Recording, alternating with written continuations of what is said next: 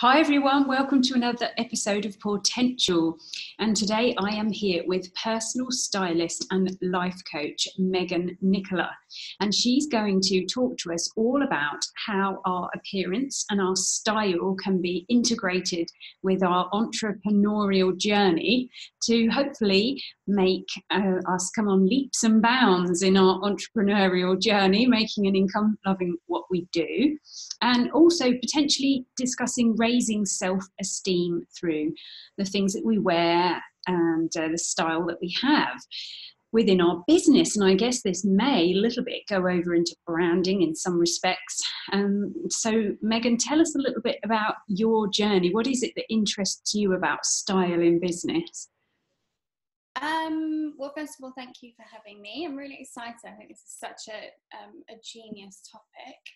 Um, so I've been a personal stylist and a life coach ever since I realized the link between our self-esteem and our self-worth with our personal style and how we carry ourselves. There's massive, there's so much research um, that backs up the um, overlap between our confidence and the way we communicate ourselves through our wardrobe.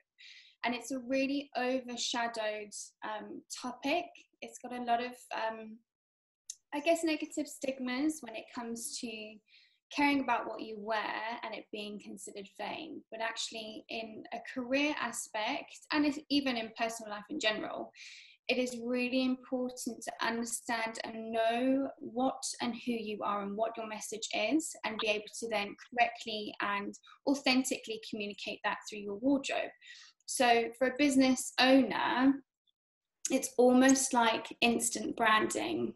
It's really, really important to identify the message and the um, the ethos and the values behind your brand, and be able to then, on first instinct and um, first impression, be able to communicate that effectively to your ideal client. It's almost like a um, yeah, it's almost it is a marketing tool. Yeah. Um, I can imagine it being that way, actually. And uh, I think for some of us, I mean, I've worked in kennels before, and uh, I I actually back then relied a lot on jodhpurs, funnily enough, because I always had a thing that I wanted to somehow keep my femininity into what I was doing. And I found if I wore bigger clothes, like they may have been, well, I was going to say they may have been more comfortable, but jodhpurs I found were super comfortable and I was able to keep my femininity. And that mattered to me. And I didn't know that it did at the time, but now I know a bit more about those aspects of ourselves and how we're bringing them into um, energetically into business. I recognize now what I was going through. And back then we didn't have like skinny jeans and jeggings they weren't even they weren't even available. So it was like jodhpurs or nothing really. something warm that was yeah. you know tight. So yes, yeah. interesting that that I. Uh, I remember doing this, and that sticks in my mind because I know there's going to be a lot of people that work with dogs that watch this and think, "Well, I can't wear nice clothes," you know, work with dogs. So it's like, I guess. No, I, I guess that's kind of it. Obviously, the, um, differentiates between different business sectors. So for me, it's obviously as a personal life personal stylist and life coach, it's a little bit easier for me to dress up. But still, my values, I think it's really important to no matter what business you own, um, and even in the um, pet and animal industry. It's still really important to understand and know what your values are and what message you want to send because you're doing it subconsciously anyway. Like you just said, you know, when you um, are aware of that, you realize the choices you make actually do stem from something that's important to you. Um, and if you don't know what those are, and if they're not aligning with exactly how you want to portray, portray yourself, then obviously you need to strip it back, kind of get to know, understand, and connect with yourself again. Because mm-hmm. obviously, as a, um, I guess, is it all a spiritual industry? Are most of uh, watching? Yes. I'm not sure. Maybe because I like attracts like a little bit, so could yeah. be a lot of people watching that uh, know me for that reason. But um, yeah. yeah, uh, maybe that's quite an interesting angle because for anyone more spiritual, you tend to have a better self understanding. Um, and obviously, you want to communicate that authentically. So, I think it would be a really great idea for anyone watching to kind of write down, even if it's just, or maybe you've even got them for your brand, um, your values, the message behind it, and kind of see, okay, so where can I am I properly communicating these? I mean, for example, like you think of dress rehearsals for actors. Um, you know, there's research that shows that the clothes you wear have a direct influence on the way you perform. Um, so for actors doing dress rehearsals, when they there's such a difference between kind of stepping into that outfit and then doing performance. Um, because they use the clothing as a way to feel and therefore communicate a message. I think sometimes, even if you're just starting out in your business, um, your clothes can be used as a really powerful way of making yourself feel confident, feel self assured.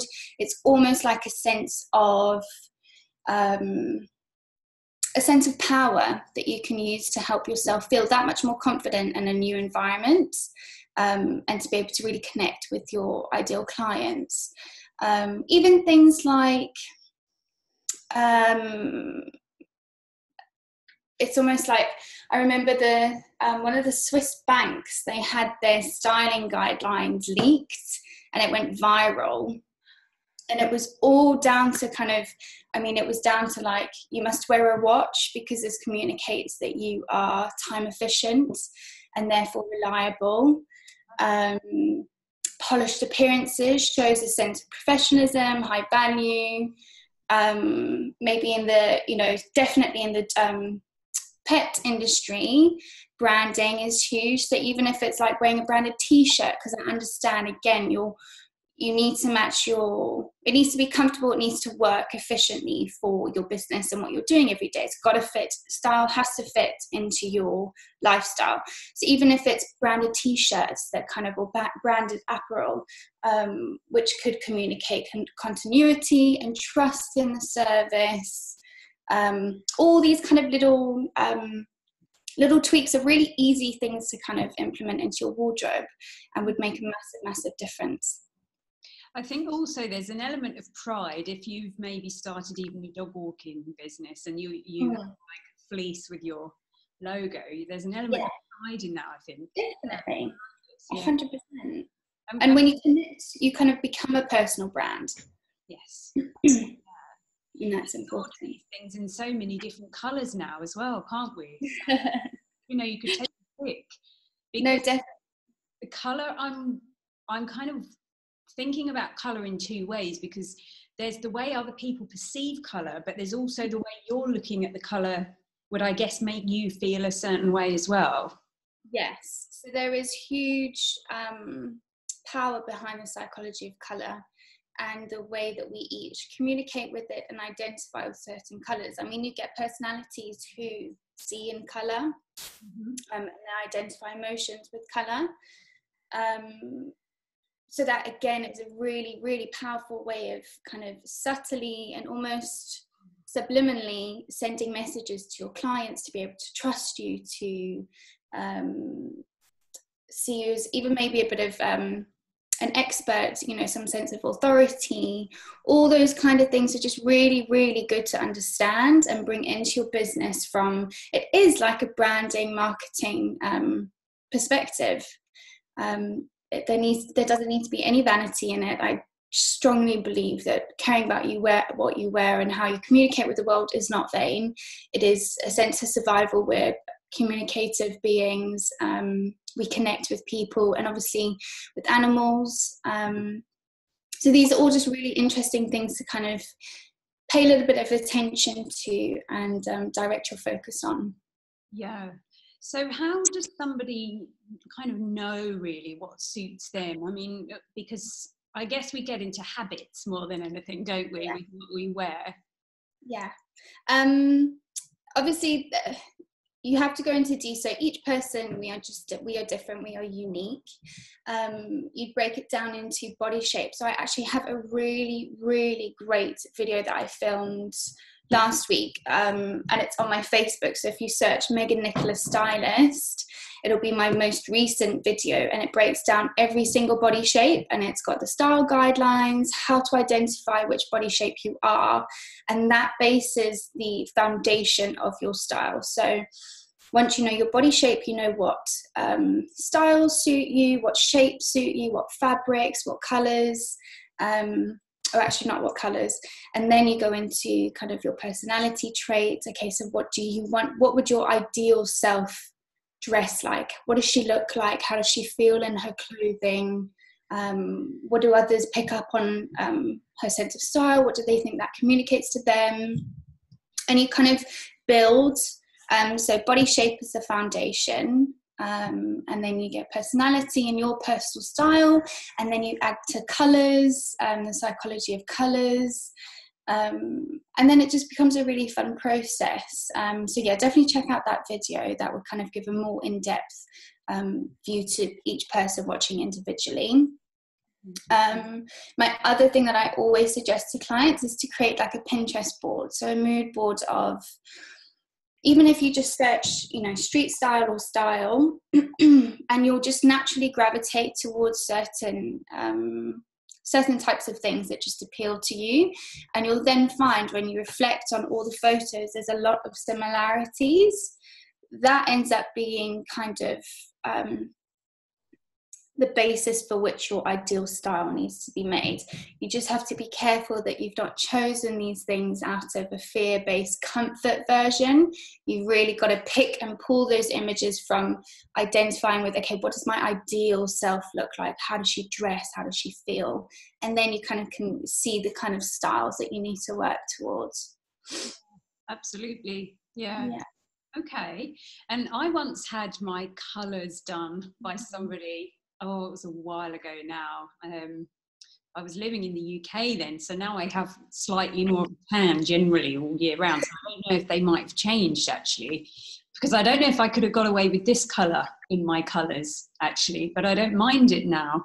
But I think mine were kind of like warms and teals, teal and uh, kind of darkish mauves and things like that. Like not.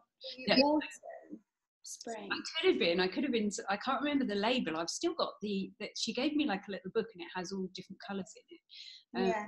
It was actually spot on, and I started only purchasing clothing that fitted in with that those, and and it's interesting how how true it is and how it seems to then light you up and you feel a bit more abundant in that way as well. And then you seem to attract different things as well. It's, it's so interesting how this something like you said it could be classed as vain but actually and it appears subtle but it's it's kind of not. It's because i guess colors color really is on the electromagnetic spectrum. It really is. So it's going to have an effect on us no definitely. And i mean there's a reason why massive marketing companies and you know massive brands pay so much money for um, marketing experts to come in and kind of and that goes right down to color. So if it can be used in um, logos and signs there's no reason as to why it can't be used in your wardrobe. Mm-hmm. um, i really really strongly believe that um, i mean you get dressed every single day so yeah. instead of making it an unconscious habit, make it a conscious habit and make it work for you. You know, if it's going to be building your business, you know, creating the lifestyle that you want, becoming the woman that you want to become, um, none of that has to be out of vanity or a sense of mm-hmm. ego. I think it's just a very pure kind of way of empowering yourself. Yeah. And do you do the colour thing, or where could people find out more information about that? Yeah so i do within my personal styling sessions we go through your body shape we identify kind of brands and where to shop for your body shapes because um, certain brands kind of identify and work better for some bodies compared to others. Um, and then we break down the the, the colors. Um, i will give you your color season tell you you know how these colors work and why and how to incorporate into them into your wardrobe um, and how much of a difference they make on just the radiance of your skin. Mm. Um, yeah, it is incredible. It's a very transforming but very easily shifting um, session. It's kind of easy, simple, tangible tools that actually, I mean, like I said earlier, you're dressing every day anyway, so we've just got to make sure it's working for you. Yeah, absolutely. Yeah. no, I think it's cool. I think it's a good um, it's a good way to look at things that we, that uh, we may not have actually yet considered as part of our entrepreneurial journey. Really, that's why I just wanted to include some tips yeah. from you. but I know you're also you're a trained life coach. Did you say as well? Yeah. So I've merged the two purely because um, there is this massive overlap overlap between personal style and life coaching and our spiritual and you know our mindset um, our sense of self-love so i predominantly work with women who either come from kind of a people pleasing nature have a history of kind of codependent relationships are really looking to feel confident um, and happy within themselves without seeking that validation from anyone else. Mm-hmm. And we go through this transformation of either one to one coaching or group coaching program. And we strip it right back and we kind of assess where you're holding yourself back and what your self limiting beliefs are and how we can instill some more confidence, some more self love. Because, yeah, the basis of everything is love. Even a sense of style is based on appreciating and loving yourself so much that you want to communicate yourself authentically with everyone else. Um, so it's a really, yeah, empowering kind of a mix of two different industries that aren't always kind of mixed and i felt they were just there was a gap in the market for that and i felt women really craved and wanted to know how to feel confident and sexy but not necessarily didn't necessarily know how to how to do that or kind of where to start.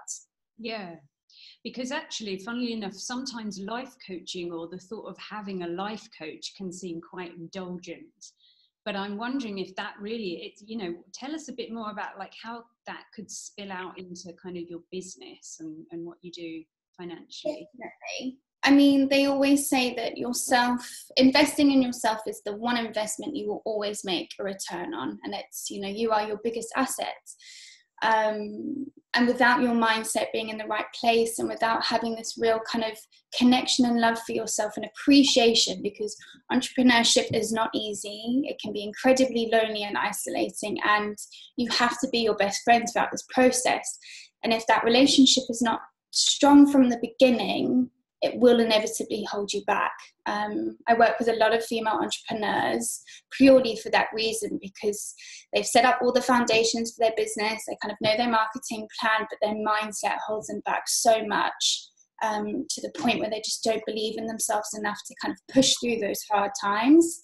Um, and I mean, it you know it affects our it positively impacts your relationships um, your family time, how you communicate with others, so your boundaries, you'll find you're a lot more supported and you'll attract much healthier relationships and friendships because you now come from a real sense of um, grounding and um, a sense of love for yourself so that you're able to establish boundaries.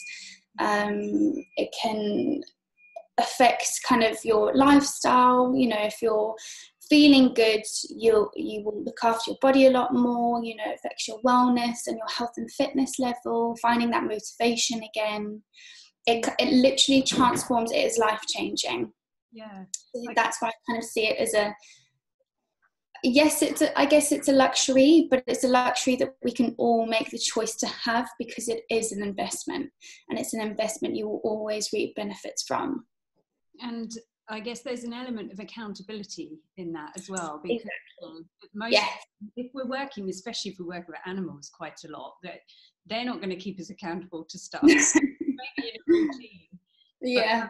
having someone that's keeping us accountable, maybe. Exactly. No, that's a massive. Yeah, that was a great point. There's that sense of you know you've got the support the guidance you're not alone but i will you know you've got someone to hold you accountable for your actions and for your you know just making sure that you actually go out there and make this career of yourself that you've been dreaming of make this lifestyle that you've you know you've wanted your whole life um, and i'm really there to kind of support you every step of the way mm-hmm. so going back to style a bit one of the things i wondered is like style on a budget you know how do we make this kind of thing fit at the beginning of our business, maybe when we haven't got a lot of money to splash around. Yes. I mean, there's a, a, massive misconception that you have to spend a lot of money to look stylish or to have a nice wardrobe. And it literally couldn't be further from the truth. Every high street brand, I mean, so the designer set what is in trend for the latest season. High streets then use this and rip them off and create lower budget and more commercial versions. So your high street brands are still just as good as any other kind of store. Um, but then you get stuff like shopping at outlets, um, which have massive, massive discounts. So basically, big brands when they've got stock that hasn't sold or they've overbought for the season they ship them to what's considered outlets and you either get them in big warehouses. Yeah or you shop online you can get online outlets. And you can get stuff like um, big brands on about 50 60% discount rates. So outlets is also a great option. Um, you sign up to newsletters that kind of give you um, the latest sales or subscribe to or just keep an eye out for um, high street sales. There's always always sales. Mm-hmm. um, for people who like really want to sort of go a bit more eco yes. discussed this before but like you know there's a lot of us in the spiritual world that kind of want to go a bit more eco with yeah I know there are even I think H and M did a brand of organic cotton stuff. Yeah, I've been shopping properly in the UK for for enough time in the last three years to kind of know the yeah. answer. But, you know, can we get sort of eco-y stuff now quite easily? A hundred percent. There is a massive um, I mean, since the, I don't know if anyone's seen the True Cost documentary. Oh. So that was kind of a real um, eye opening documentary about the fast pace of the fashion industry and how destructive it is for um, the environment. Um, and since then, there's been a massive shift towards more um, economical, more sustainable options for fashion.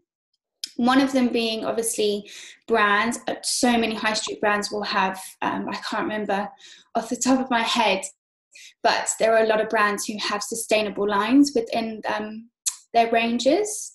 Um, also, capsule wardrobes. So, capsule wardrobes are kind of a limited amount of pieces in your wardrobe, and um, they can range from like 18 pieces to uh, I think the biggest is about 40 pieces, 32 maybe. Um, and you just condense what you wear and you um, so you have staple sets of items and then you just interchange each and you can create like 50 60 outfits from 20 pieces if done correctly. So that's also another alternative. Um, also buying wisely so even though I'm saying, you know, shop sales, and I would say invest in just one or two key pieces, maybe even just one a month, um, because by the end of the year, you've got 12 really well thought out purchases in your wardrobe, and that's enough to make at least a handful, 10, yeah, probably about 10 or 12 um, outfits. Um, so you don't necessarily have to buy loads of things. Um, I'm a huge fan of you can get um, evenings where you um, you do clothes swap evenings. Oh yeah. So if you search, yeah, in your local community, you'll find um, people who are swapping clothes, and I think that's just ingenious because there's only so many styles anyway that people create. So eventually things come back into style, and if you're not going to wear it, one man's trash is another man's treasure. Yeah. Um, it's a really nice way of kind of recycling clothes um, and obviously then donating. Pardon? What were you going to say? Sorry. I was just going to end off with um, if you do a wardrobe detox, which I thoroughly, highly, highly recommend, you must start through that just the beginning of your personal style journey, um, which is something I do with my clients. Start with a wardrobe detox. Get rid of everything that's no longer aligns with your new message that you've kind of um, identified you want to communicate and donate. So donate clothes and um, the less, yeah, the less wastage we can create, the better. Mm-hmm. Mm-hmm.